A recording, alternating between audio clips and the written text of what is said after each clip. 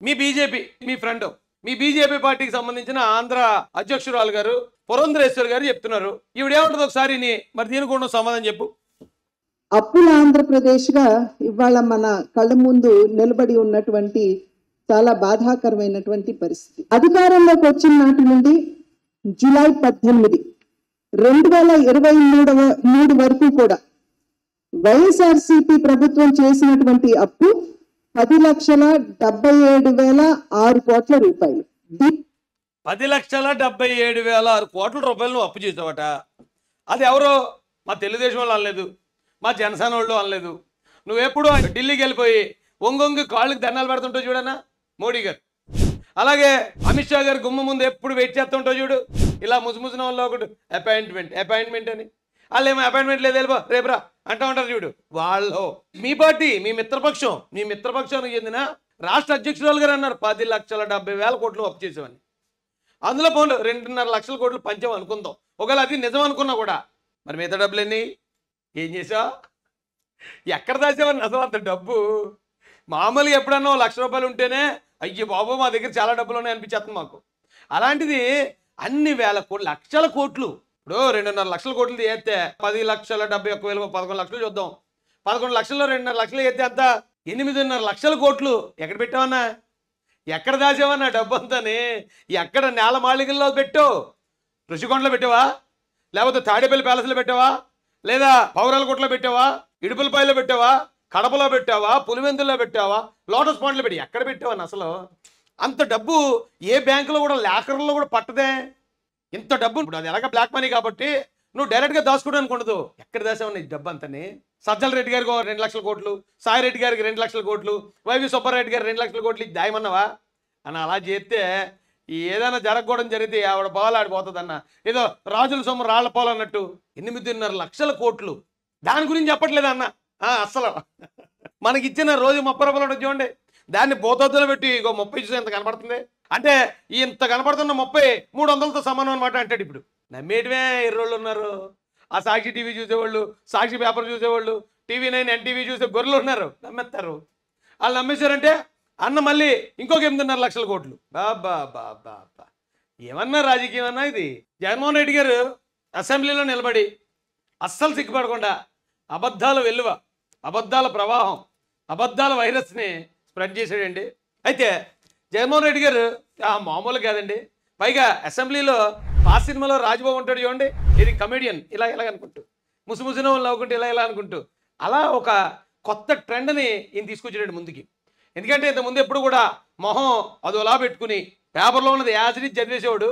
ఇప్పుడు కొంచెం ఇంప్రూవ్ చేశాడు. కొంచెం సీనియారిటీ వచ్చింది. పేపర్ చదివేటప్పుడు.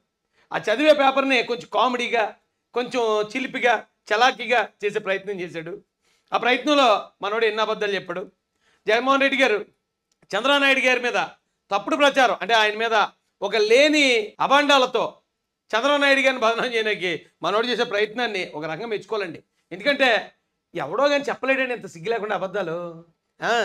ఎవరో అంటే నూటికి ఒకడు కూడా చెప్పలేడు. అబద్ధం చెప్పేటప్పుడు అరే ఇది అబద్ధం ఎదుటోడు తెలిసిపోతే మనల్ని చీకొడతారు కదా మనల్ని ఎదవాలనుకుంటారు కదా అని కాస్త కదా కాస్త అని సిగ్గుపడతాం. కానీ జగన్మోహన్ రెడ్డి గారు కించిత్ కూడా సిగ్గుపడకుండా ఇదే నిరాటంకంగా ఆయన చెప్పిన అబద్ధాలు ఆస్కార్ ఇచ్చేచ్చండి. అబద్ధాలు చెప్పడంలో ఆస్కార్ అవార్డు ఉంటే మా జగనానికి వస్తుంది అవార్డు. అన్న జగనన్న కమాన్ మీ పెర్ఫార్మెన్స్ ఇవ్వండి మీ కామెడీ పెర్ఫార్మెన్స్ ఒకసారి. అధ్యక్ష ఇన్ని ఇటువంటి పరిస్థితుల మధ్య అధ్యక్ష ఇన్ని పరిస్థితుల మధ్య ఇన్ని ఇబ్బందుల మధ్య ఇన్ని సవాళ్ళ మధ్య మన ఆర్థిక వ్యవస్థను అధ్యక్ష గత యాభై ఏడు నెలలుగా మనం నడుపుకుంటూ ముందడుగులు వేస్తా వచ్చి ఇటువంటి పరిస్థితుల మధ్య. అధ్యక్ష ఏ రకమైన సవాళ్ళు మనం ఎదుర్కొన్నాము ఈ సవాళ్ళ ఈ సవాళ్ళల్లో మనం ఏ రకంగా అడుగులు ముందుకు వేశాము అనేది గమనిస్తే అధ్యక్ష తీయపోతే అన్న మాట ముందుకు నడదు ఎందుకంటే ఆ ఈ యాభై ఏడు నెలల్లో ఏం జరిగిందో అన్నకే తెలీదు. అన్న చేసింది ఏమీ లేదు సున్నా. కాబట్టి ఎవడో ఏదో చేసామన్నట్టు రాసిస్తాడు. అది లేకపోతే పేపర్ తిరగకపోతే ఇంక అన్న మెమ్మెమ్మే తెత్తెత్తే మెమ్మెమ్మే అంటూ కూర్చుంటాడు. సినిమాలో బ్రహ్మానంద గారు నువ్వు ఉన్నావమ్మా తొత్తు తొత్తు అనుకుంటా. మళ్ళీ ఒకసారి చూడండి. అన్నగా పేపర్ తిరగలేదు తొందరగా. తొందర తిరగకపోతే ఎన్ని రకాలుగా? ఎన్ని రకాలుగా అన్న మాటనే అరిగిపోయిన గ్రామ్ ఫోన్ రికార్డులా. మళ్ళీ మళ్ళీ మళ్ళీ మళ్ళీ. ఒకసారి చూడండి. వ్యవస్థను అధ్యక్ష గత యాభై ఏడు నెలలుగా మనం నడుపుకుంటూ ముందడుగులు వేస్తా వచ్చి. పరిస్థితి అధ్యక్ష ఏ రకమైన సవాళ్ళు మనం ఎదుర్కొన్నాము? ఈ సవాళ్ళ ఈ సవాళ్ళల్లో మనం ఏ రకంగా అడుగులు ముందుకు వేశాము? మాట గమనిస్తే అధ్యక్ష దేవుడి దయ వల్ల ఇన్ని సమస్యలు మనం ఎదురున్నా ఇన్ని సమస్యలు మనకున్నా ఇన్ని సమస్యలు మనకున్నా కూడా అధ్యక్ష మన ప్రయాణంలో అధ్యక్ష ఈ యాభై ఏడు నెలల మన ప్రయాణంలో అధ్యక్ష గర్వంగా కూడా చెప్పగలుగుతాం అధ్యక్ష. ఏంటన్నా? ఎక్కడా కూడా కరప్షన్ లేకుండా పూర్తిగా వ్యవస్థను మొత్తం చేసి ఆ, ఈ రోజు బటన్ నొక్కడం. నేరుగా నా అక్క చెల్లెమ్మల కుటుంబాల ఖాతాలో కరప్షన్ లేకుండా కరప్షన్ మొత్తం ఆపేసేటట్టండి. దేనికంటే బటన్ నొక్కటం కోసం. అంటే ఈయన బటన్ నొక్కితే మన అకౌంట్లో పడేది ఎంతండి? రోజు ముప్పై రూపాయలు కదా. ఆ రోజుకి ఇచ్చే ముప్పై రూపాయల ముష్టిలో మళ్ళీ కరప్షన్ అట మళ్ళీ కులం అట మతం అట వివక్ష అట ఏమీ లేకుండా ఇచ్చాడట ముప్పై రూపాయలు. అన్నా జగనన్న మనం ఎప్పుడైనా గుడికి కానీ చర్చికి కానీ మసీద్ కానీ వెళ్ళినప్పుడు అక్కడ చాలామంది ముష్టిలు కూర్చుంటారన్నా కూర్చున్నప్పుడు అక్కడ మనం జాతి కులం మొత్తం ఏం చూడం. ఎందుకంటే మనం ఇచ్చేది గట్టిగా అయితే ముప్పయో నలభై యాభై ఉంటుంది. ఆ మాత్రం దానికి నా కులమోడా ఈ నా మతమోడా నా జాతుడా చూస్తావా నువ్వు అలాగే చూడవు.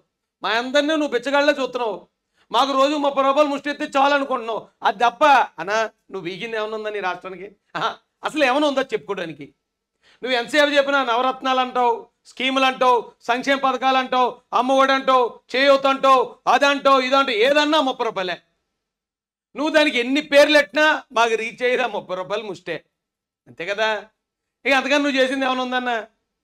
దాంట్లో మళ్ళీ కరప్షన్ లేదట. దారుణం కానీ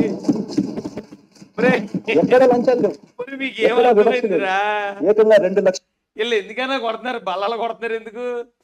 నేను చెప్పి గ్యాప్ ఎత్తాను బల్లలు కొట్టకపోతే బొక్క చిరిగిపోతున్నావు ఏంటి? ఎందుకు కొడుతున్నారు వాళ్ళు బల్లలు?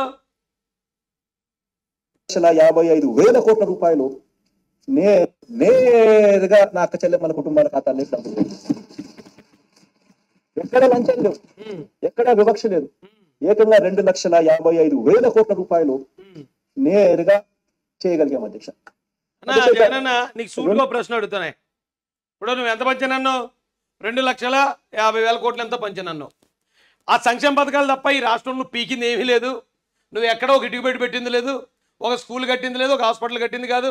లేకపోతే ఒక ఇంకోటి ఏదో నిర్మించింది లేదు ఒక కొత్త ఇండస్ట్రీలు వచ్చింది లేదు రాజధాని కట్టింది ఏమీ పీకలేదు నువ్వు. నువ్వు ఇచ్చిందల్లా ఏం చేసావు? రెండు లక్షల యాభై వేల కోట్లు ఇచ్చాను అంటున్నావు ఆ రెండు లక్షల యాభై వేల కోట్లు ఎవరెవరికి ఇచ్చావు నీ దగ్గర లెక్క ఉండదు. ఎందుకంటే అసలు మామూలుగా నువ్వు మీ నాన్నగారు అధికారంలో ఉన్నప్పుడే పావుల ప్రజలకు ఇచ్చి రూపం ముప్పాలు కొట్టేసిన ముఖం నీది. ఇప్పుడు రెండు లక్షల యాభై వేల కోట్లు నువ్వు జనానికి ఇచ్చేస్తావా? ఆ పేరు చెప్పి వెనకేసి ఉంటావు. పోన్లే. నువ్వు అన్నదానికి వద్దాం. పోనీ రెండు లక్షల యాభై వేల కోట్లు ఇచ్చావు అనుకుందాం. అయితే